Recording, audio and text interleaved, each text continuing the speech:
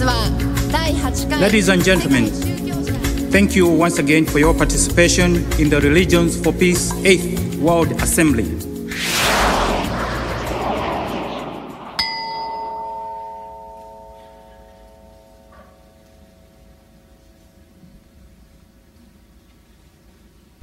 We have to remove the fear of peace.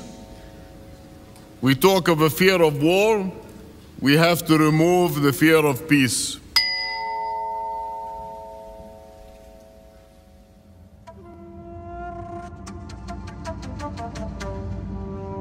The reason I think it's important for us to come together is our history of many of our faiths has shown many times we seem to be in competition with one another.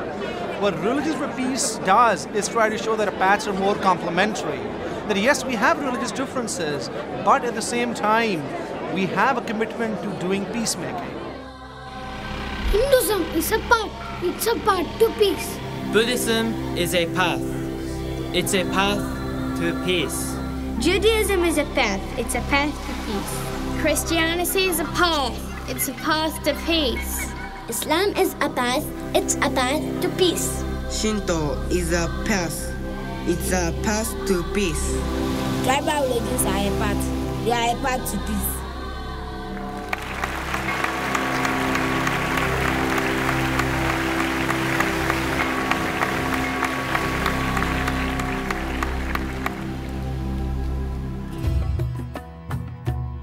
Mean, even if you change one person's opinion, you've done a lot. Because I've met people who've never met a Muslim before, who have pre preconceived notions of what a Muslim is. Just changing their viewpoint, I think, is a big deal.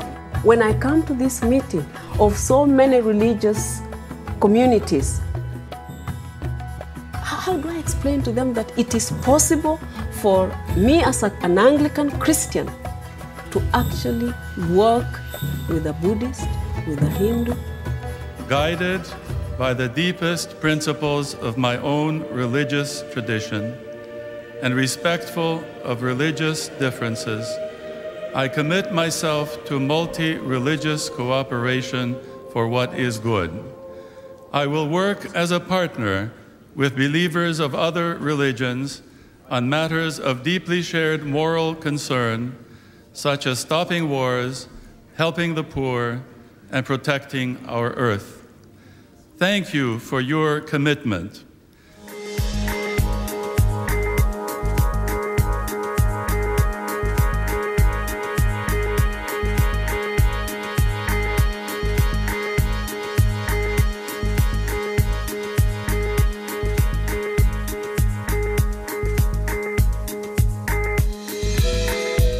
I believe that WCRP for many of us is,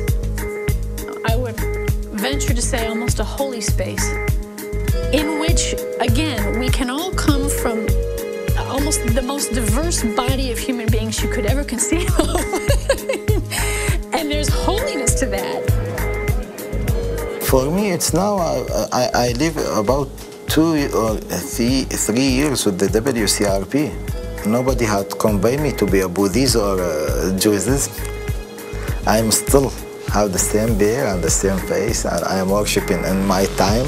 If there will be a meeting, uh, the meeting will be stopped because of the Muslims. They had to go and have their pray on pray. So uh, it's the matter of just finding the way how to live together. The kind of charity that you have within your heart, that charity is what will help you to forgive. That'll help you to reconcile. The first time I met uh, some of rabbis, Jewish, those people in the past, was my, my enemy. When I uh, met uh, some rabbis and uh, I listened from them, and some of them is very sad about our situation, and they believe that uh, we must to, uh, to build our life together in this small land, in this holy land. The Oslo agreements did not include religion. There was no rabbis there, there were no imams, there were no Christian priests. Trying to solve the conflicts around the Holy Land without taking into account that it's holy and people want to return there because they want to be in the Holy Land. It's like, it's, it's useless. You can't do it. You, you miss the point. I must tell you that I'm convinced, convinced, as a Jew and as a rabbi, that there will be peace, proper peace, complete peace with us and the Islam. Rising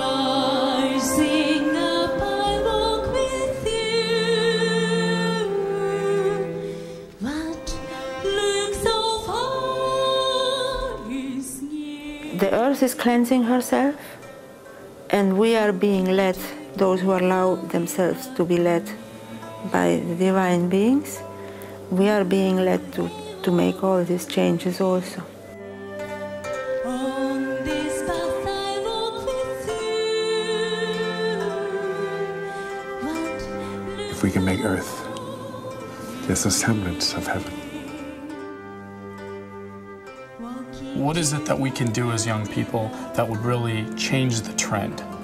How can we change the trend from violence and move toward nonviolence, move toward peace?